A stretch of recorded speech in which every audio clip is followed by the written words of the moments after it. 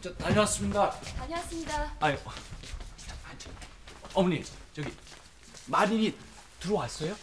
아니 아니 아직 안 들어오면 어떻게 벌써 9시 반이 넘었는데 저, 어, 어머니 지금 마린이 누구랑 같이 있는 줄 아세요? 오늘 감독 만난댔어 그냥 만나는 게 아니고요 글쎄 둘이 나란히 영화를 보고 나오는 거예요 누가 보면 완전 사귀는 사이지 그게 들어오면 어머님이 한 말씀 하세요. 뭐라고?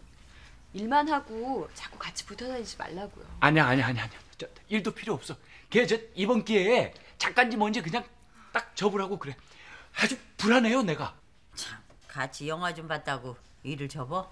아니, 엄마가 아니 저 어머니가 그 모습을 못 보셔서 그래요. 아니 뭐 팔짱이라도 꼈어? 아니 그런 건 아니지만요. 예감이 아주 안 좋다니까요.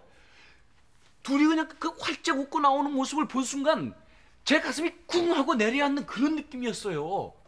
저도요. 마린 얘기 들어보고 어, 저, 전화 좀 걸어봐. 어? 빨리 빨리 들어오라고 좀 얘기 좀 해. 아유, 아무튼 여자하고 접시는 내돌리면 깨진대요. 함부로 말하지 마 꺼놨어요.